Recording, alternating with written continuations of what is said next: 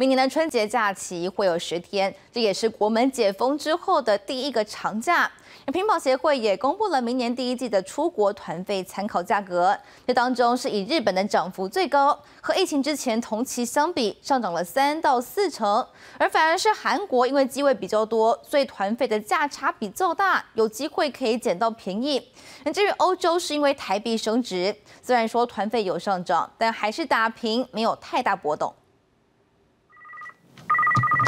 哦，日本，日本是什么什么日期吗？电话一通通拨进来，都问国外旅游，疫情趋缓，国门解封，明年农历春节又长达十天，民众出国意愿踊跃。这我明年就已经要要出国了，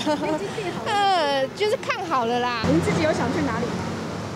奥捷出国大多锁定日韩自由行，另外过年团体旅游，欧洲线热门程度也很高。各个航空公司的航线都陆陆续续复苏很多，所以在过年那一波呢是非常值得期待的。欧洲的部分几乎都已经销售到九成以上，那日本的部分也有八成以上的销售。屏保协会也公布明年第一季全球各地区旅游商品团费参考价格。东南亚的团费跟疫情前同期相比涨幅两成，日本团涨幅三到四成，甚至有北海道过年团要价十八万元，纽澳线也有两成二到两成五的涨幅。韩国则因机位多，团费高低落差大，以及欧洲团虽有两成涨幅，但因台币升值打平，涨幅不大。由于解封旅旅游的禁令过于突然吼，所以日本在人力还没有及时到位的情况下，出现了 CIQ 的问题，也就是地勤检疫跟保安。也因出国潮办护照需求增加，大量人潮涌入外交部相关局处。以十四号为例，全国收件量超过一万一千多件，